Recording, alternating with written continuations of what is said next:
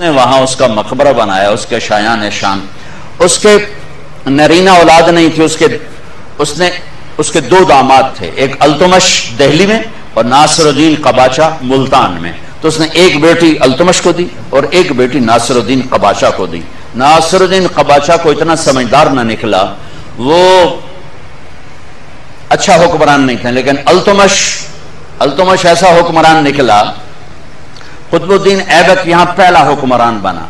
अल्तुमश ऐसा हुक्मरान था कि जब ख्वाजा बख्तियार काकी रहमत का इंतकाल हुआ और उनकी जन, उनके जनाजे को रखा गया तो उनके खुदाम ने ऐलान किया कि हज़रत शेख का फरमान था ये अल्तमश इनका मुरीद भी था कि मेरा जनाजा वो पढ़ाए जिसकी कभी तहजद कजा ना हुई हो।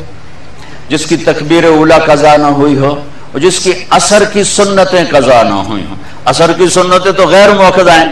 कौन पढ़ता है? कभी कभी हम पढ़ लेते हैं। सौरे मजमे पे सन्नाटा छा गया। बड़े बड़े औलिया अकताब उलमा, सूफिया सब खड़े हुए।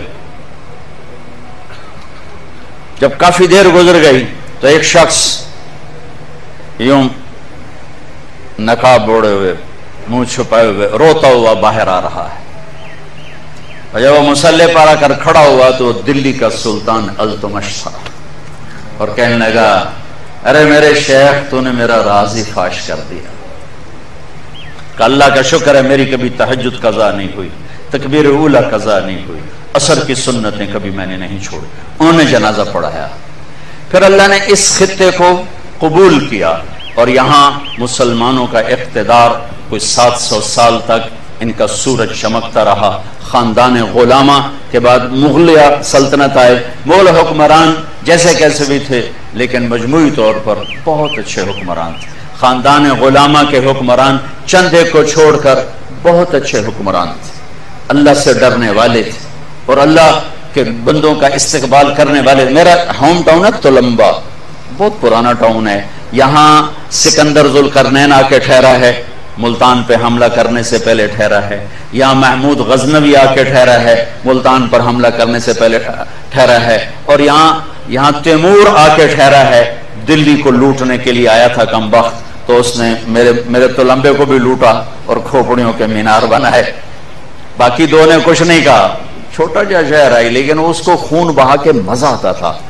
तैमूर कहता था, जब खून निकलता देखता हूँ तो मुझे एक सुरूर आता है। मेरे ऊपर एक कैफियत तारी हो जाती जब मैं लोगों का खून उबलते देखता हूँ। और बच्चों की चीखो पुकार और औरतों की आहो फगा, जब वो कहता मैं सुनता हूँ तो मुझे एक नशा आता है। वो इस किस्म का भेड़िया नुमा इंसान था। तो 700 बरस की तारीख है। हुक्मरान अल्लाह ताला ने बड़े आलीशान दिए। बुरे भी है, लेकिन बुरे कम थे, अच्छे ज़्यादा। लेकिन अल्लाह ताला का निज़ाम है कि हर उरूज के बाद सवाल जब आप माउंट एवरेस्ट से चढ़ जाते हैं तो फिर उसके बाद क्या होता है? उतरना होता है ना?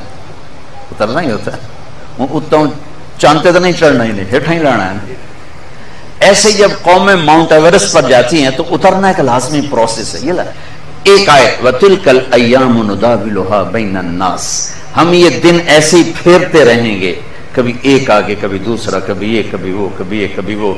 ये अल्लाह का निज़ाम है, ना अहलों को ज़्यादा देर हुकूमत नहीं देता है। किसी और कौम इन तवल्लो दिल कौमन गैर कौम अगर तुम गड़बड़ करोगे, हम तुम्हें हटा कर किसी और को लाएँगे।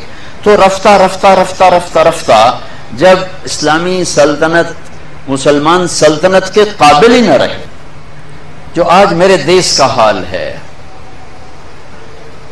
कि किसी तबके में कोई सलाहियत नहीं रही अपने निज़ाम को लेकर चलने की।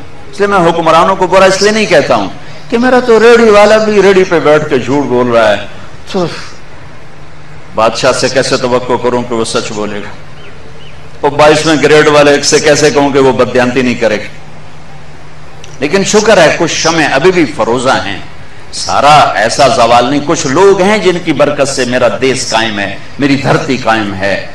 जिनके नाम से ये निज़ाम चल रहा है और उनकी दयानत सच्चाई, वो सूरज की तरह रोशन है।